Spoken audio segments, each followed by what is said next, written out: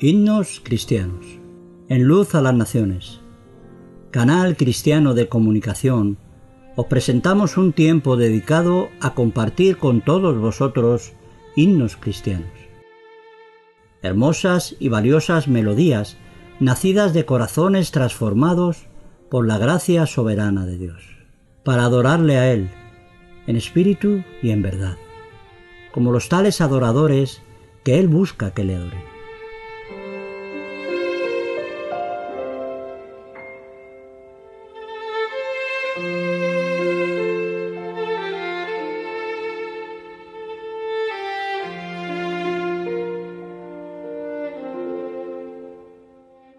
himnos cristianos, en luz a las naciones, una voz de salvación a tu corazón. Deseamos que Dios os bendiga a través de este programa.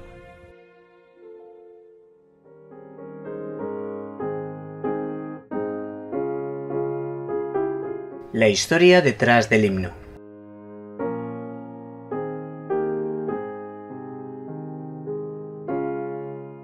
Himno, oh Dios, si en dura senda he de ir.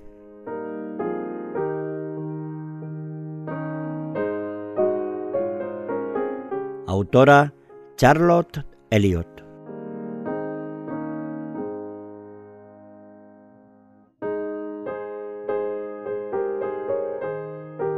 Sabemos que la buena voluntad de Dios es agradable y perfecta. Sin embargo, no es tan sencillo ver esta verdad cuando se está pasando por enfermedad y prueba.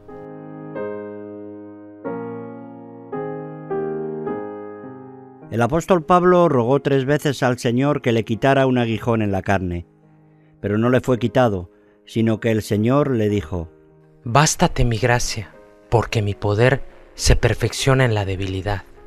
La sabia y humilde respuesta del apóstol nos deja una tremenda lección. Por tanto, de buena gana me gloriaré, más bien en mis debilidades, para que repose sobre mí el poder de Cristo. Segunda de Corintios capítulo 12 versículo 9. El himno Oh Dios, si en dura senda he de ir, es uno de los 150 himnos escritos por Carlota Elliot.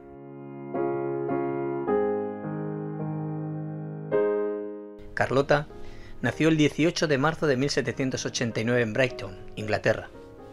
Siendo joven, mostró talento como artista de retratos y poesía humorística.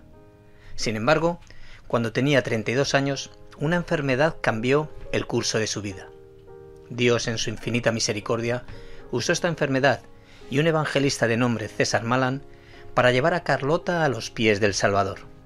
De la hermosa historia de su conversión nace el himno más popular de Carlota Elliot.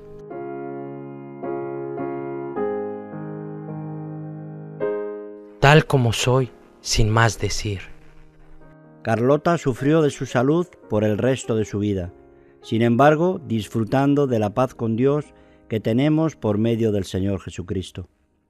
Su relación con su Señor fue un ancla firme en las aguas turbulentas de la prueba y la enfermedad.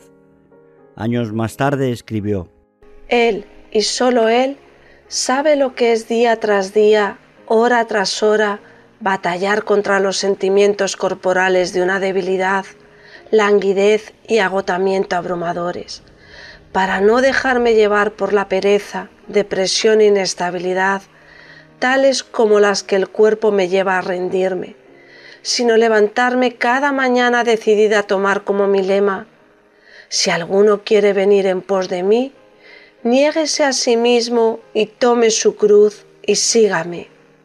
En otra ocasión también escribió, Dios me ve, Dios me guía, Dios me guarda. Su gracia me rodea y su voz continuamente me llama a estar contenta y santa en su servicio justo donde estoy.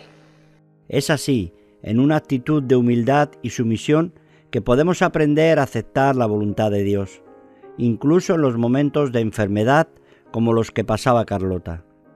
Lo expresó muy bien en su himno. Oh Dios, si en dura senda he de ir, o cuando prueba vea venir, enséñame siempre a decir que se haga en todo tu voluntad.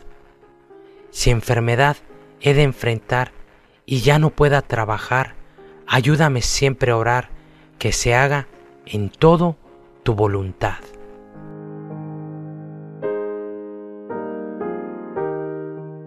Años más tarde, en 1836, el hermano de Carlota, Henry, quien fuera predicador en el pueblo de Brighton, tenía el proyecto de construir un edificio para ser usado como una escuela para niños pobres.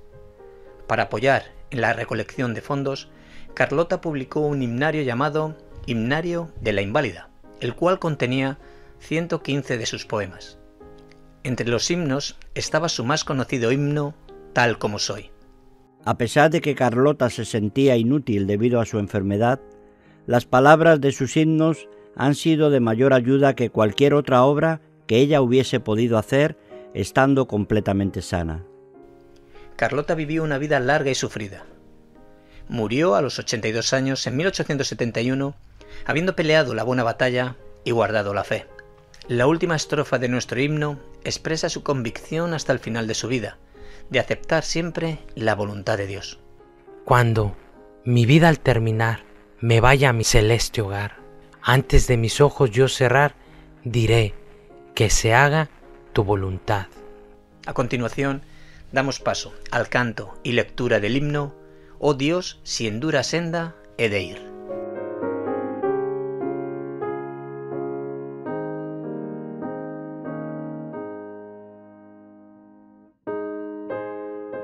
Oh Dios, si en dura senda he de ir, o cuando prueba vea venir, enséñame siempre a decir que se haga en todo tu voluntad. Si en valle oscuro he de andar, que quieto estéis sin murmurar, que sin afán yo pueda orar, que se haga siempre tu voluntad. Si tú me pides renunciar lo que he llegado a orar, que todo dé y sin dudar, para que se haga tu voluntad. Si enfermedad he de enfrentar y ya no pueda trabajar, ayúdame siempre a orar, que se haga en todo tu voluntad. Controla Dios mi voluntad, moldéame en tu gran bondad, y así, andando en santidad, yo pueda hacer tu voluntad.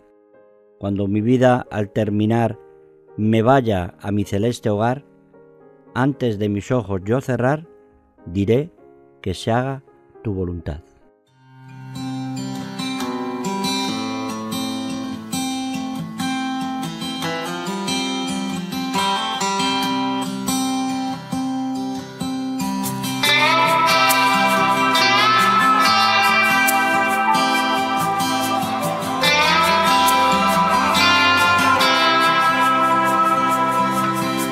God, my Father, while I stray far from my home on life's rough way. Oh, teach me from my heart to say, Thy will be done. Though dark my path and sad my life. Let me be still and murmur not. Or breathe the prayer divinely taught. Thy will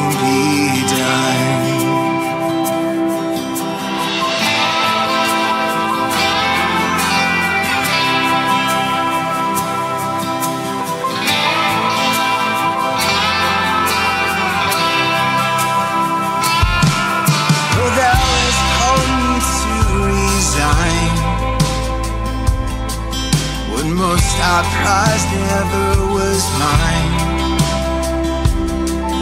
I only yielded what was thine. Thy will be done. Lord, if my fainting heart be blessed with the Holy Spirit My God,